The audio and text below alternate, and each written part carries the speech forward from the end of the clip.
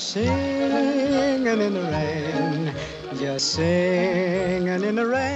Singing in the Rain is one of those shows that you rarely get to see live because of the very demanding production aspects. So we figured it was a very easy choice to present in concert because the music is so glorious. What do you mean by in concert? Minimally staged, minimal costumes and props. The actors will be holding the scripts in front of them, and for the majority of the time, they're standing and delivering.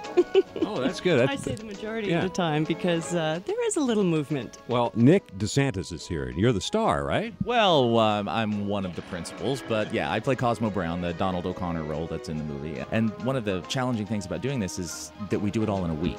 We have maybe 24 hours, I think, of rehearsal, which is why we do an in concert version, because otherwise we couldn't assemble the talent that we have for a single production because everyone's working. Singing in the Rain, of course, everybody knows that song, but what are some of your other top favorite songs in this concert? Well, there is All I Do Is Dream of You. All I do is dream of you the whole night through. And one of my favorites is Good Morning, Good Morning. Of course, everybody remembers that. Go ahead, Nick. Well, I did make them laugh. I mean, Yeah. the, the make them laugh, make them laugh, you know. And you are my lucky star. So, How many seats? 496. So you get a really nice shot at seeing what's going on and hearing it really well. That's right. acoustically the room is like the rest of Benaroya is built to just be so live so you'll hear everything you know just so wonderfully